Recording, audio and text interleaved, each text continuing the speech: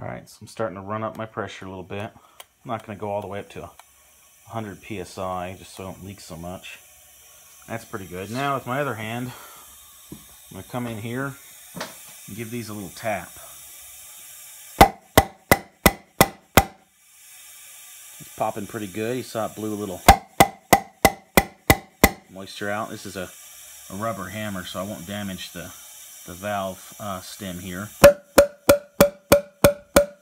Oh yeah, I even feel that puffing up.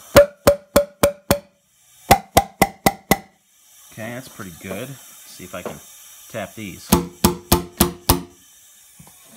Yeah, that's pretty good. So those seem to be sealing decently well. Come in here do this last exhaust one.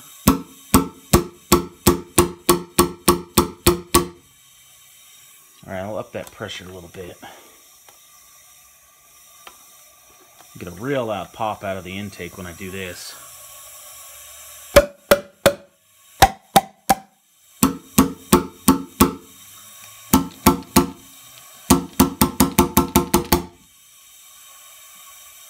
And you can see every time I tap on it.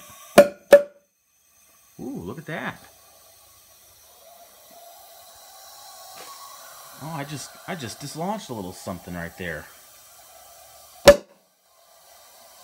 Oh yeah. That's nice. Look at that.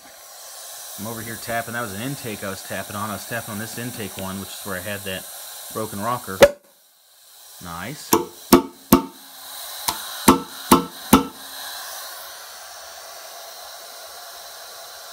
That's better.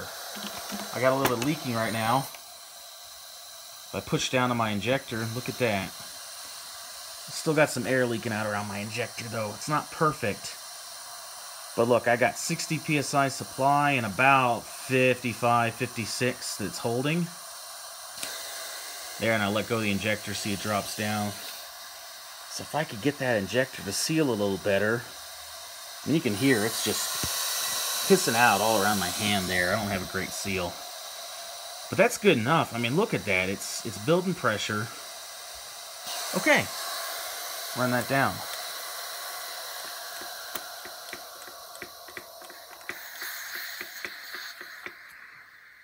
Okay. So, what we found there, this is the first time doing this. I haven't run through this before, so I'm kind of learning my way through it as you're seeing the video. Basically, I had pressure on here, and you saw that I had a lot more supply than I was holding in the cylinder. And there, and there was some leaking out around this, but you heard it, it got worse once, uh, once I got that valve to seat. So I took my trusty little hammer here. This is a rubber hammer. It's not a nylon end even. It's actually rubber. It's, you know, nice nice little hammer. You can tap on stuff and not, not destroy something. So and I went around and I just tap on them.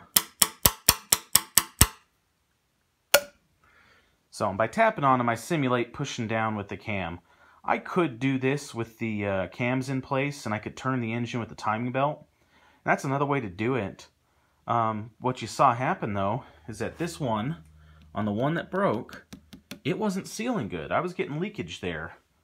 And finally, once I ran up the pressure a little bit and I tapped on it and it got a couple of good taps from me, there's probably some little bit of carbon or something that... Uh, that I was able to blow out because now it's sealing good.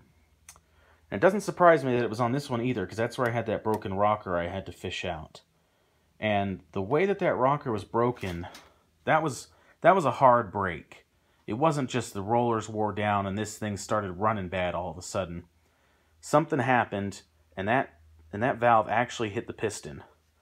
Now this is an interference engine, so usually that means it bends valves. However, we're lucky here because it broke it the rockers break instead of the valve bending which is nice because I don't have to pull the head off of this or anything else. I'm I'm down to the point where I'm like great. You know I'd rather have a weak point of being the sacrificial rocker instead of it being um, the valve. And with the way that these are designed since the you know cam doesn't push directly onto like the top of the valve you know other other engines you go down in here and the lifter will sit right on top of this and uh, fill up, and that'll push it down. Um, you know, or you know, there's a couple other designs out there. You know, the old-fashioned rocker type with a push rod. But basically, because this rocker with a roller on it is there, when there's that mechanical interference, the weak point is the rocker. So that rocker breaks instead of, you know, destroying and, you know, bending a, a valve, messing up a piston maybe, you know, cams, all that, that rocker fails. So it's kind of frustrating. It's still an uh, interference engine with the time belt.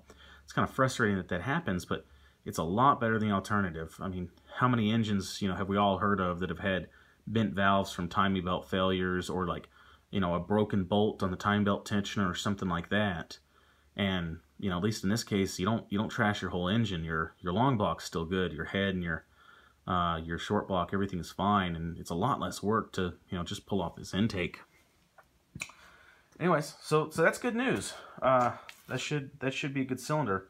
I'll keep working down through the rest of these, and we'll see what we find.